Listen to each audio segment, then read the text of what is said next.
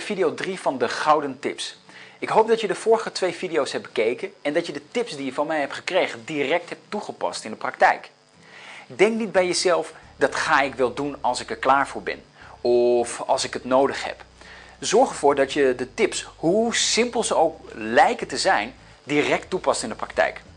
De meeste mensen denken als ze een boek lezen bijvoorbeeld van oké, deze oefening ga ik wel doen als ik het boek uit heb. Of deze uh, oefeningen of deze opdrachten doe ik wel een keertje als ik er echt tijd voor vrij kan maken. En wat blijkt, zoals je misschien zelf ook hebt ervaren, dat je deze oefeningen of opdrachten nooit doet.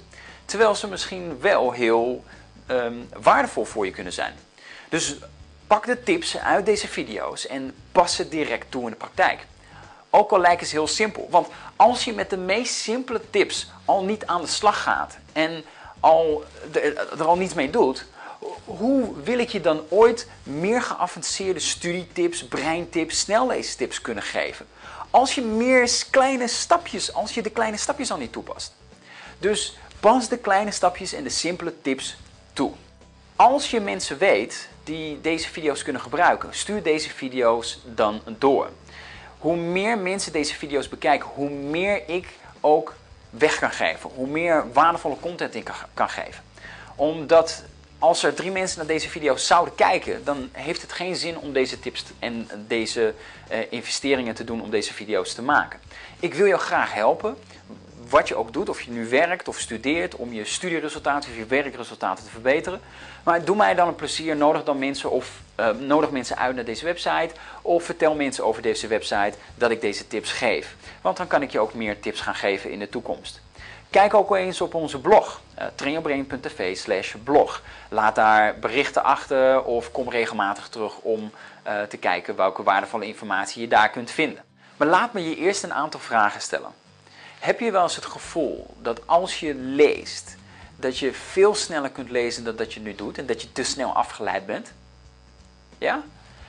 Heb je wel eens het idee dat op het moment als je leest en je slaat een bladzijde om, dat je dan weer terug moet slaan omdat je niet meer weet wat je op de vorige bladzijde hebt gelezen?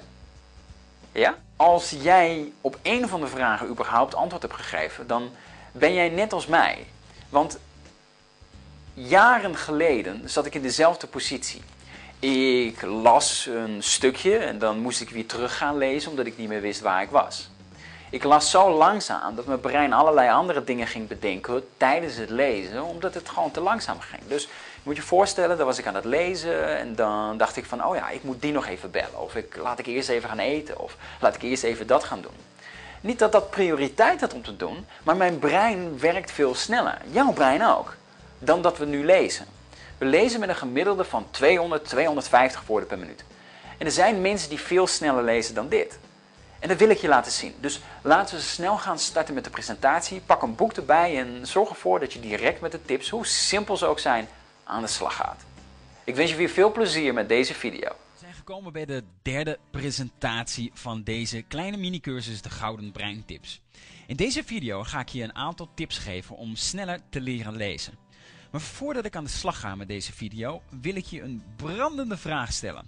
Want zou jij met duizend woorden per minuut willen lezen en begrijpen wat er staat?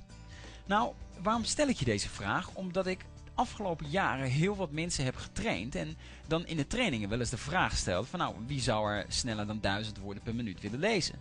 Nou, iedereen wil dit eigenlijk wel. Iedereen wil eigenlijk wel methodieken, technieken in handen krijgen, vaardigheden hebben om informatie, of je nu werkt of studeert, sneller te verwerken. En hieronder valt ook natuurlijk snelleestechnieken.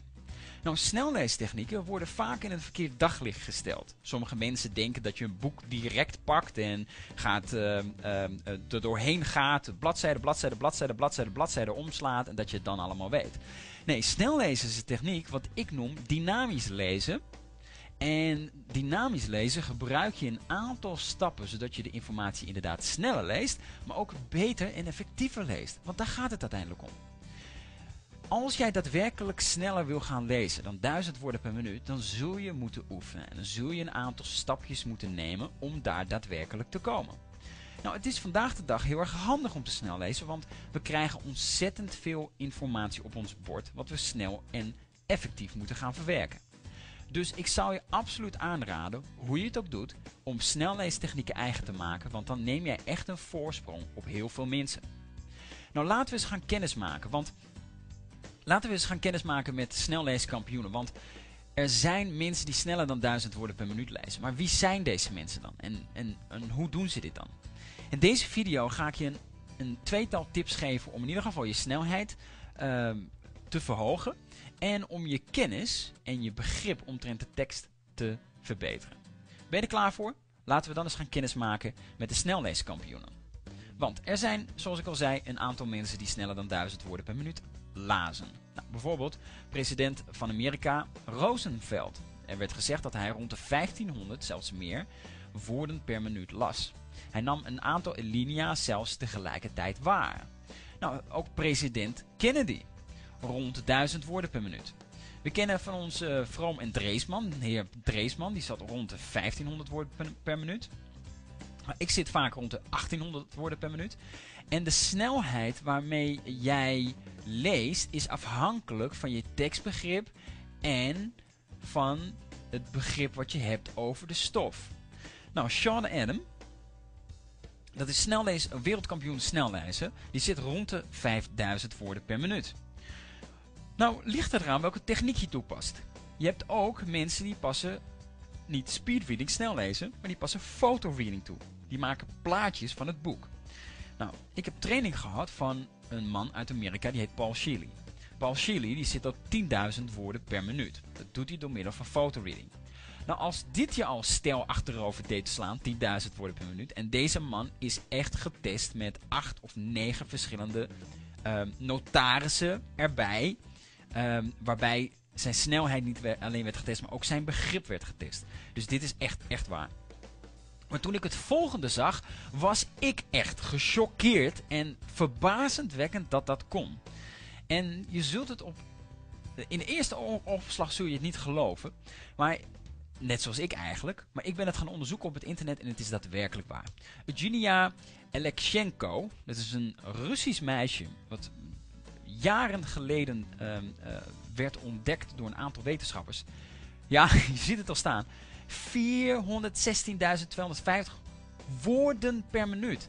Dit meisje las zo ontzettend snel dat ze geen eens ze zou eigenlijk sneller kunnen lezen, maar ze kon de bladzijden van de krant en het materiaal wat zij kregen door de, door de uh, onderzoekers die haar, die, haar, uh, die haar gingen testen, ze kon, ze kon het materiaal niet sneller omslaan. En dit is dus wetenschappelijk getest, dit is dus wetenschappelijk bewijs. Deze meid die las ontzettend snel. Sommige mensen hebben hier talent voor. Ik hoop uh, dat ik ooit nog eens achterkom. Ik weet niet of ze leeft. Um, dat ik nog een gesprek met haar kan hebben. Want als ik achterkom hoe zij dat doet, hoe, wat voor techniek, dan ga ik het je zeker leren. Want um, ik hoop dat ik ook uh, ooit rond die snelheid uh, kom. Nog even oefenen. Maar goed, deze mensen hebben al bewezen dat ze sneller lazen. En dat mensen dus sneller kunnen lezen. Er zijn een aantal hele simpele technieken. En ik ga je zo meteen een aantal tips geven. Maar de vraag die bij mij eigenlijk naar boven kwam is: waarom lezen wij eigenlijk dan zo langzaam als wij rond de 200, 250 woorden per minuut lezen? Nou, dat is om de manier waarop we hebben leren lezen. De eerste wat ons tegenhoudt om sneller te lezen is subvocaliseren. En ten tweede is backskipping. Subvocaliseren en backskipping zijn twee begrippen die je in heel veel snelleestrainingen uh, weer tegenkomt. Subvocaliseren is hardop in jezelf praten. Dus je hebt je lippen op elkaar, maar tegelijkertijd praat je en blijf je hardop praten tegen jezelf. Het subvocaliseren, dat komt omdat we door de manier waarop we hebben leren lezen. Het backskipping is je misschien wel bekend doordat je bijvoorbeeld een linia hebt gelezen en dan bij de volgende linia denkt, wat heb ik ook weer gelezen? Heb je dat wel eens gehad? Ja hè? Of als je een bladzijde hebt gelezen en je slaat de bladzijde om en wat heb ik de vorige bladzijde ook weer gelezen? Nou, dat noemen we backskipping en dat beperkt jou eigenlijk om sneller te gaan lezen. Dit zijn aangeleerde technieken en je hebt jezelf nooit verder ontwikkeld op, op snelleestechnieken om sneller te, te lezen, terwijl het wel mogelijk is. Want ons oog neemt in een fractie van een seconde neemt de woorden waar en stuurt het naar onze visuele cortex in ons brein. Dus wij kunnen de woorden veel sneller waarnemen. tweede waarom we zo langzaam lezen is beperkende overtuigingen. Een overtuiging is een zekerheid. Hè? Dus bijvoorbeeld alles wat ik lees kan ik toch niet onthouden. Ik vergeet toch wat ik lees. Dus ik heb al geen zin meer om te lezen. Dus dat is heel erg belangrijk. Als je zo denkt over lezen, of als je denkt van lezen is niet leuk, ik heb geen zin om te lezen, lezen is voor, voor doetjes, of voor, voor nerds, of voor eh, stereotypen met een brilletje, of wat dan ook, dan beperk je jezelf eigenlijk om überhaupt te gaan lezen. Dus belangrijk ook is, wat jou tegenhoudt om sneller te lezen, is beperkende overtuigingen. Nou, de manier waarop we hebben leren lezen is de eerste is de methode, is de fonetische methode. Je leerde het complete alfabet. Weet je dat nog? Ja, A, B, C, D, enzovoort, enzovoort. Dat leerde je letterlijk uitspreken. Van de fonetische methode ging je de woorden aan elkaar plakken. Dus dan kreeg je bijvoorbeeld k, a, t. Dan kreeg je kat. Of h, o, n, d kreeg je hond. Dan sprak je het hond uit. Dus zo hebben we eigenlijk van kleine uh, blokjes de blokjes bij elkaar gedaan. Dat spel, daar kreeg je dan de spelling van een hond of een kat of een huis of, of miep of wat dan ook. En dat leerde je dan uitspreken. Dus de fonetische methode is de uitspraakmethode. De volgende methode is de zie- en zeg-methode. De zie- en zeg-methode, ken je dit bord nog? Aap, noot, mies, wim, zus, jet, teun, vuur.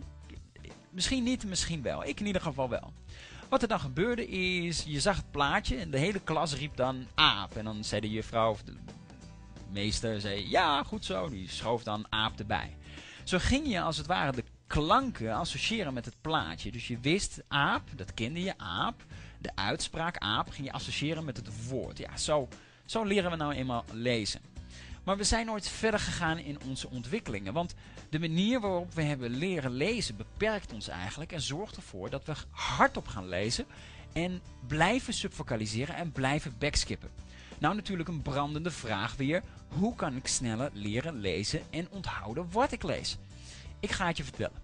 Want ik ben de afgelopen 10 jaar, nu ik zo eh, lang met snellezen bezig ben geweest, in ieder geval de meeste van de tijd voor mezelf en hoe ik zelf snelle informatie kan verwerken, heb ik de vier grootste geheimen ontdekt hoe we onze snelheid kunnen verhogen en onze ons begrip kunnen verhogen. Ben je er klaar voor? Oké, pak pen en papier en schrijf de, het eerste geheim op. Dit, dit geheim krijg je van mij. Hier moet je normaal heel veel voor betalen. Met dit geheim, de eerste twee geheimen van de vier grootste geheimen, krijg je gewoon van mij. Hier hoef je niets voor, voor te betalen. Het enige wat ik hoop is dat je ze toepast in de praktijk. Beloof je dat? Oké, want anders ga ik ze niet geven. Oké, dankjewel. Dankjewel voor je commitment. Oké, de, de eerste, het eerste geheim om sneller te lezen is het toepassen van je hand-oogcoördinatie. Maar Sven, wat bedoel je eigenlijk mee? Het is eigenlijk heel simpel. Ga weer met je vinger lezen.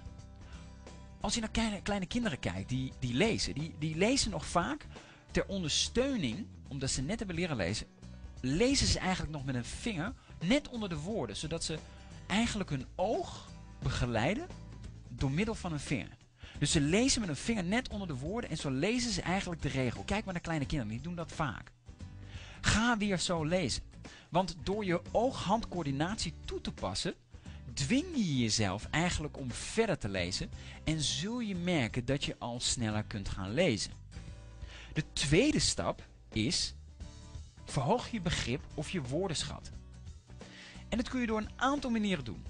Ten eerste zou ik je adviseren om als je leest altijd een woordenboek bij te hebben. Dus als je, een, als je dan een woord niet begrijpt, dat je direct het woord op kunt zoeken, want zo vergroot je je woordenschat. Ook wat je kunt doen is juist meer te gaan lezen. Pak meer boeken, ga meer romans lezen. Pak, een, pak gewoon willekeurig boek wat jou interesseert en en ga het lezen. Want als je gaat lezen, stimuleer je niet alleen je brein om lezen leuk te vinden, waardoor je al sneller gaat lezen, maar je stimuleert daarbij ook je begrip. Nou, er zijn nog twee hele belangrijke elementen en geheimen die je kunt leren met betrekking tot om je snelheid gigantisch te verhogen en je begrip te verhogen. Maar die ga ik je hier niet vertellen. Deze kun je leren in de online thuisstudie van Train Your Brain. Hier de gouden tip die ik je ga geven voor deze video. Mijn eerste tip aan je is train je hand-oogcoördinatie. Dit kun je op verschillende manieren doen. In de Train Your Brain online thuisstudie leer ik je alle manieren hoe je hand-oogcoördinatie kunt trainen. Het beste wat ik hier nu over kan zeggen is: zorg ervoor dat je met je vinger of met je pen gaat lezen. Ik bedoel niet letterlijk met je pen of met je vinger, maar hou je vinger onder de woorden en zorg ervoor dat je met je vinger je oog begeleidt over de woorden heen, zodat je wat sneller kunt gaan. Want je ogen kunnen veel sneller de informatie verwerken. Dus ga vanaf nu lezen met de geleiding van je vinger of pointer.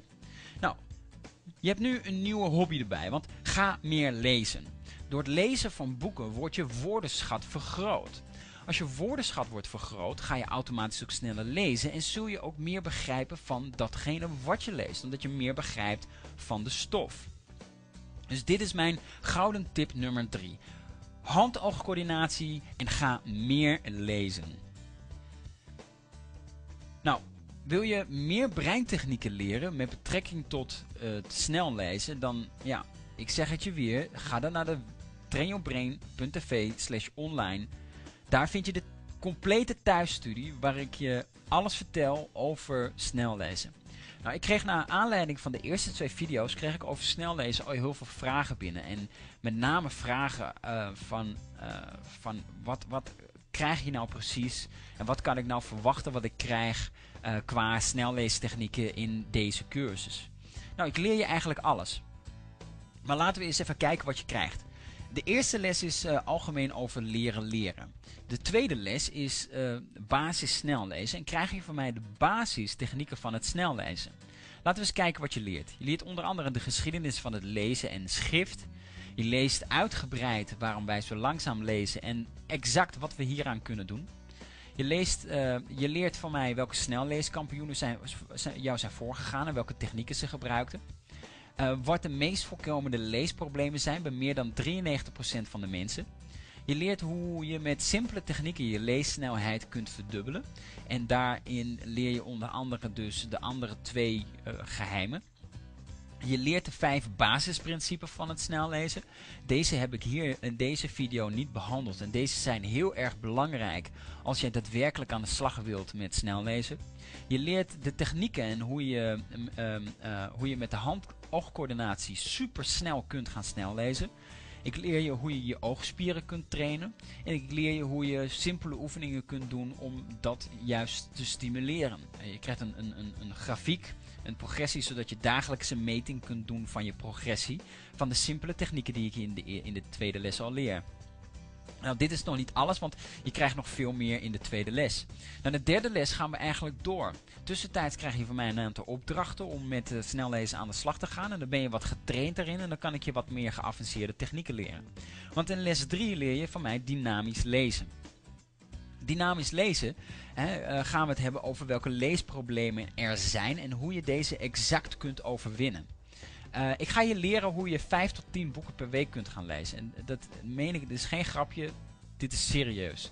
Je leert de vijf elementen om sneller te lezen en meer te begrijpen. Er zijn vijf stappen die je gaat nemen om daadwerkelijk informatie sneller te verwerken, sneller te lezen en meer te begrijpen. Je leert van mij welke hulpmiddelen je kunt gebruiken om het lezen aange aangenamer te maken. Dus de meeste mensen lezen gewoon echt gewoon verkeerd. Gewoon op een verkeerde manier.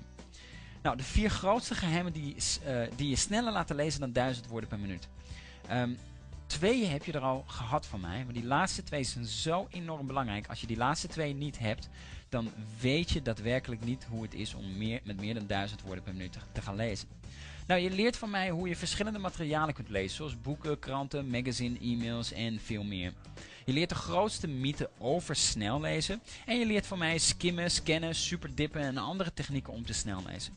Nou, dit was onder andere, ik wil je even een kort overzicht geven, maar dit is onder andere wat je krijgt in de lessen van de online Train Brain thuisstudie.